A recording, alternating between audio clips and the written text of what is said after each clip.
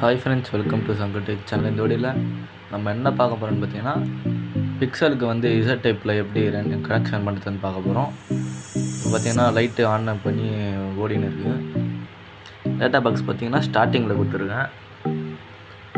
ஸ்டார்டிங்கில் data plus minus கொடுத்துட்டு starting செட்டோட டேட்டா ஒயர் எடுத்து அதாவது ஃபஸ்ட்டு செட்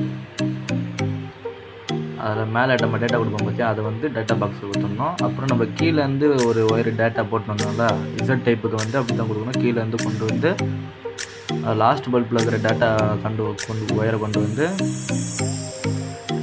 அடுத்த செட்டோட இன்னில் அதாவது டேட்டா இன்னில் கொடுக்கணும். அதாவது பச்சை கலர் ஒயரில் கொடுத்துக்கிறேன் அப்புறம் ப்ளஸ் மைனஸ் கொடுத்துட்டா ரைட் எரியும் அதேமாதிரி அந்த செட்டில் இருக்கிற இடத்துல வந்து அடுத்த செட்டோட டேட்டா இன்டில் கொடுக்கணும். அதாவது ஃபஸ்ட் பல்பில் டேட்டாவோட கொடுக்கணும் கொடுக்கணும்.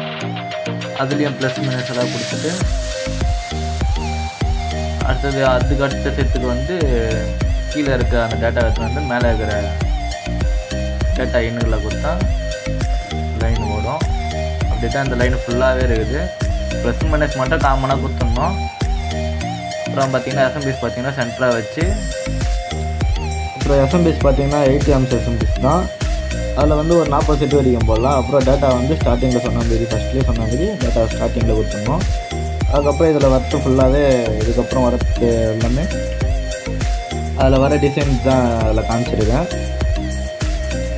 எல்லாமே கொஞ்சம் நல்லா தான் இருக்குது கொஞ்சம் புது மாடல் டிசைன்லாம் வந்திருக்கு. நீங்களும் இதுமாதிரி ட்ரை பண்ணி பாருங்கள் அதுக்கப்புறம் நம்ம சேனலை வந்து சப்ஸ்கிரைப் பண்ணி நம்ம வீடியோக்களை லைக் லைக் பண்ணி உங்கள் ஃப்ரெண்ட்ஸுக்கு அதாவது ஆடியோ அந்த ரிலேட்டடாக இருக்க ஒர்க்கில் ஃப்ரெண்ட்ஸுக்கு வந்து இந்த வீடியோலாம் ஷேர் பண்ணி அவங்களே கொஞ்சம் சப்போர்ட் பண்ண சொல்லுங்கள் நீங்கள் சப்போர்ட் பண்ணால் தான் நம்ம சேனலுக்கு இன்னும் கொஞ்சம் ஒரு சப்போர்ட்டாக இருக்கும்.